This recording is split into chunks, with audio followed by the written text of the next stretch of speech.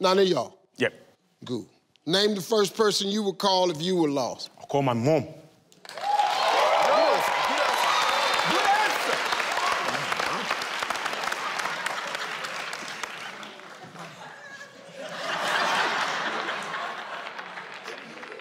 Hello, mom.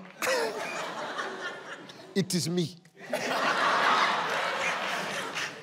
Oh, I'm fine. I'm lost right now. I don't know where. I know that was stupid, I know.